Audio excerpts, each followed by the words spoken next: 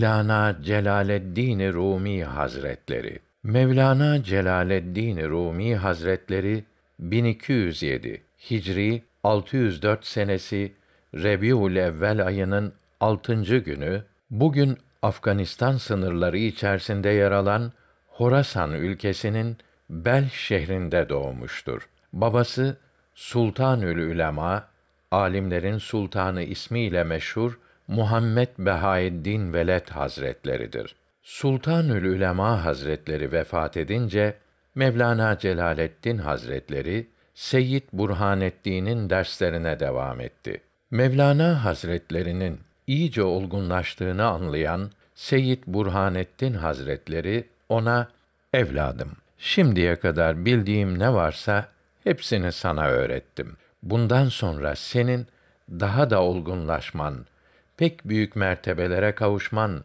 Şems-i Tebrizi Hazretlerinin gelmesine bağlıdır buyurdu. Mevlana 15 Kasım 1244 yılında Şems-i Tebrizi Hazretleri ile karşılaştı. Onun sohbetlerinde kemale erdi. Ancak beraberlikleri uzun sürmedi. Şems-i Tebrizi Hazretleri aniden öldürüldü.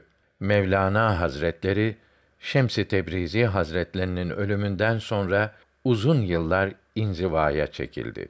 1273 Hicri 672 senesi Cemaziyel Ahir ayının 5. günü Konya'da vefat etti. Mevlana Hazretleri vefatından az önce talebelerini topladı ve onlara şu nasihatlerde bulundu. Gizli ve aşikar Allahü Teala'dan korkunuz. Günahlardan sakınınız. Az yiyip, az uyuyup, az konuşunuz. Çok oruç tutunuz. Zamanlarınızı namaz kılarak değerlendirin. Şehveti terk edip sefihlerle, cahillerle mücadele etmeyiniz. Onlarla oturup kalkmayınız. Onları kendinize muhatap etmeyip hep iyi insanlarla beraber olunuz. Ya hayır konuşunuz veya susunuz. İnsanların sıkıntılarına sabrediniz. Biliniz ki insanların en hayırlısı insanlara en faydalı olandır. Kabrimin üzerine yapacağınız türbenin kubbesi yüksek olsun. Çok uzaklardan görünsün. Çünkü türbemi görenler doğru bir itikat ile beni Allahü Teala'ya vesile ederek dua ederler. Beni vesile ederek Allahü Teala'dan rahmet ve mağfiret isterlerse dualarının kabul olması için ben de Rabbimize yalvarırım. Böylece dualarının neticesi Allahü Teala'nın izniyle hasıl olur. Rahmet ve mağfirete mazhar olurlar buyurdu. Mevlana Hazretleri her halleriyle insanları doğru yola teşvik eder, vaaz ve nasihatleriyle hasta kalplere şifa olan sözler söylerdi. Yine başka bir sohbetinde talebelerine buyurdular ki: Ey bizi sevenler, sevgili peygamberimizin gittiği ehli sünnet yolundan yürüyüp bu yolu ihya etmelidir. Allahü Teala'nın sevdiği ameller, ibadetler ile helal yollardan çoluk çocuğunun ihtiyaçlarını kazanarak razı olunan kullar zümresine dahil olmalıdır. Hep helali istemeli, helalinden yiyip helalinden içmeli ve helalinden giymelidir. Söylediklerimiz, dinlediklerimiz, düşündüklerimiz hep helal olmalı. Her hareketimizi Peygamber Efendimizin hal ve hareketlerine uydurmalıyız. Herkes bir sanata sahip olmalı ve din ilimlerini iyi öğrenmelidir. Talebelerimden bunu hususen istiyorum. Bizim yolumuzda olanlara kıyamet günü yardımcı olur, yüzlerinin ak olmasına çalışırız. Ancak edebe riayet etmeyenler ve ehli sünnet yoluna muhalefet edenler kıyamet günü bizi göremeyeceklerdir buyurdu. Bir gün huzuruna birbirlerine dargın iki kişi getirdiler. Onlara barışmalarını söyledi.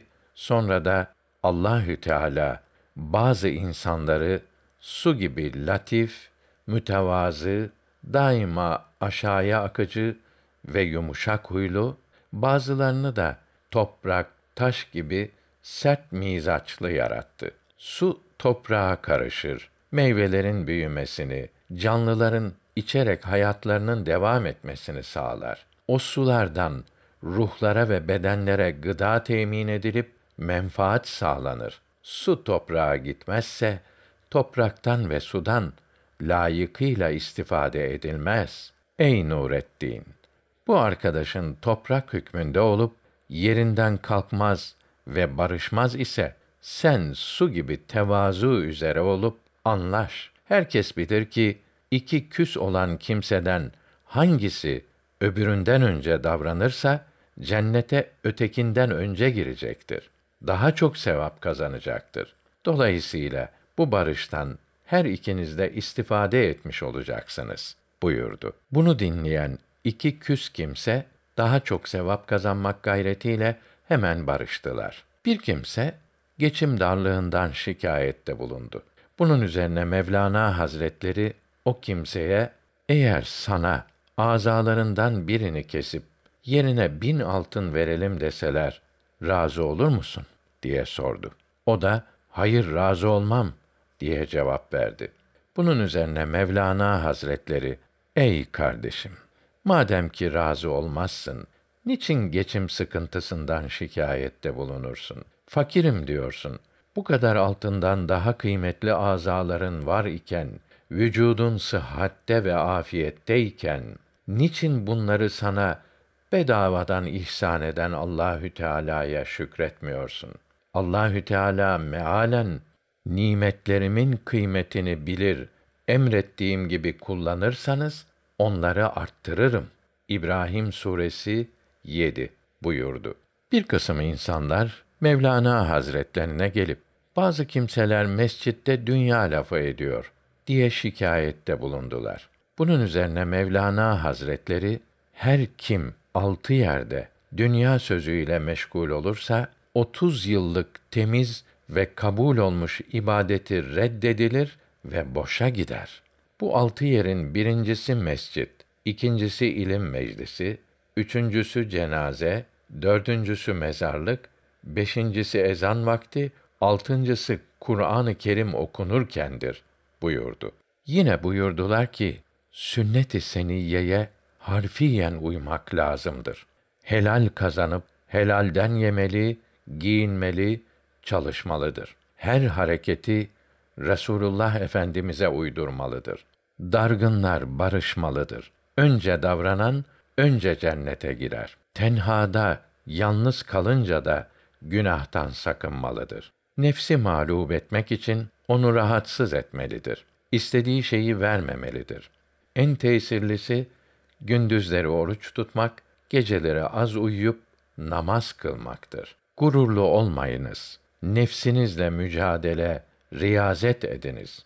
Peygamberimiz hep riyazet çekmiş, zenginlik istememiş, arpa ekmeğini bile doyuncaya kadar yememiştir. Hakiki bir alime, rehbere teslim olmalıdır. Mevlana Hazretlerinin şahsiyeti Mevlana Celaleddin Rumi Hazretleri tasavvuf deryasına dalmış bir hak aşığıdır.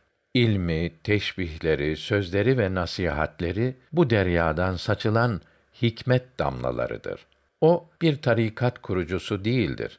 Yeni usuller ve ibadet şekilleri ihdas etmemiştir.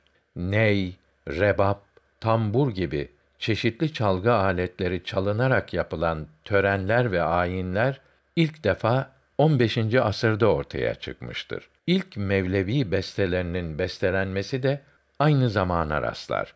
Bu tarih Mevlana Hazretlerinin yaşadığı devirden 3-4 asır sonradır. Onun mesnevisinde geçen ney kelimesi bazı kimseler tarafından çalgı aleti olan ney şeklinde düşünülüp anlaşıldığı için yanlış olarak kendisinin ney çalıp dinlediği sanılmıştır.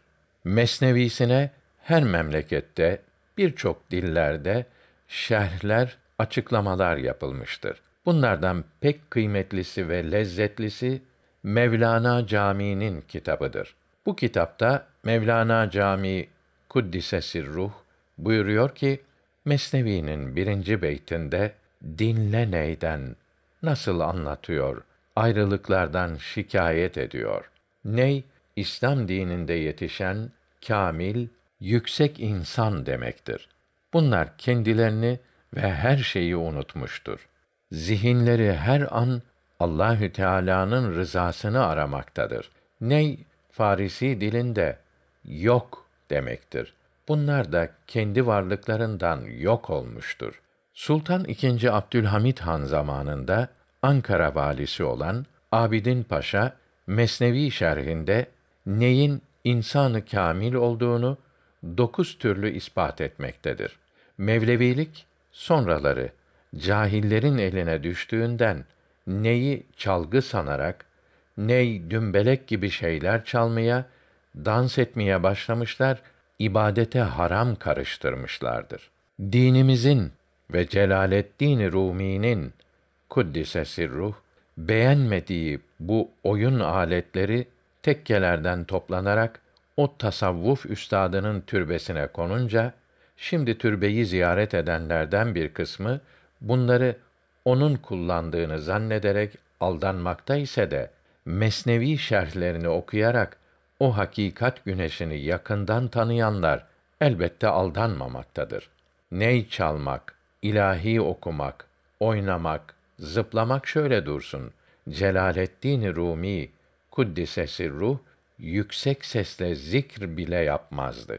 Sonradan gelen Mevlana'yı tanımayanlar ney, saz, def gibi çalgılar çalarak, gazel okuyup dönerek, dans ederek nefslerini zevklendirmişlerdir. Bu dinimize uygun olmayan hallerine ibadet adını verebilmek ve kendilerini din adamı tanıtabilmek için Mevlana da böyle yapardı. Biz Mevleviyiz, onun yolundan gidiyoruz diyerek asıldan uzaklaşmışlardır. Mevlana Hazretleri ölüme şebi arus, düğün gecesi adını vermektedir. Onun için tasavvuf ehline göre ölüm bir felaket değildir. Güzel ve tatlı bir şeydir. Tekrar Allah'a dönmek olduğundan ancak bir sevinç vesilesidir. Tasavvufta keder ve ümitsizlik yoktur. Yalnız sevgi ve tecelliler vardır. Bunun için Mevlana'nın gel, gel, her kim olursan ol gel, Allah'a şirk koşanlardan, mecusilerden, puta tapanlardan da olsan gel. Bizim dergahımız ümitsizlik dergahı değildir. Tövbeni yüz defa bozmuş olsan bile gel buyurduğu söylenmektedir. Mevlana Hazretleri gece gündüz Cenab-ı Hakk'a niyaz eder, yalvarırdı. Ya Rabbi, bizim halimize bakarak muamele etme kendi ikram ve ihsanına göre bize muamele eyle. Ya Rabbi, kerem ve lütfunla hidayet ettiğin kalbi tekrar dalalete, sapıklığa meylettirme. Belaları bizden sarf eyle. Çevir ve değiştir. Ey affı çok olan, günahları örten Rabbim. O günahlar dolayısıyla bizden intikam alma. Bize azap etme. Ya Rabbi, biz nefis ile şeytana köpek gibi tabi olduksa da sen azap arslanını bize saldırtma. Ey hay, ebedi diri olan Rabbim, talep ve dua üzerine nasıl olur da kerem etmezsin?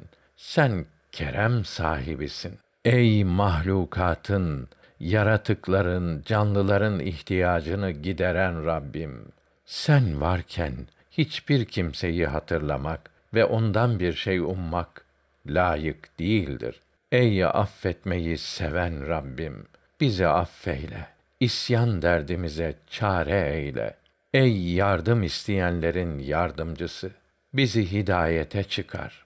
Ya Rabbi, dua ve yakarışlarımızda sana layık olmayan sözleri bilmeyerek söyleyip hatalarda bulunmuş isek o kelimeleri sen ıslah et ve duamızı kabul buyur. Çünkü sözlerin hakimi ve sultanı ancak sensin. Ey alemin yaratıcısı, kasvetli, kararmış, katılaşmış, adeta taş gibi olmuş olan kalbimizi mum gibi yumuşat. Feryadımızı, ahu vahımızı hoş eyle ki rahmetini celbetsin, çeksin.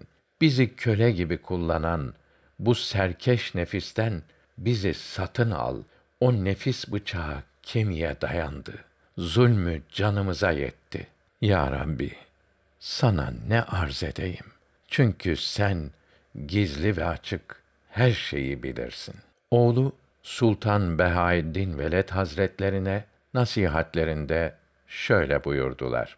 Ey oğlum, sana vasiyet ediyorum ki her halde ilim, edep ve takva üzerine bulun. Her zaman geçmiş din büyüklerinin eserlerini inceleyerek ehli sünnet vel cemaat yolundan ayrılmamayı vazife edin. Fıkıh, İslam hukuku ve hadisi şerif öğren. Cahil sofulardan olma. Namazı her zaman cemaatle kıl. Çok söz söyleme, az söyle ve halkın kötülük ve eğrilerinden arslandan kaçar gibi kaç. Bir kenarda dur. Dinde eğri yollara girenlerden sakın. Helal ye ve şüphelilerden kaçın. Dünya malına kapılma.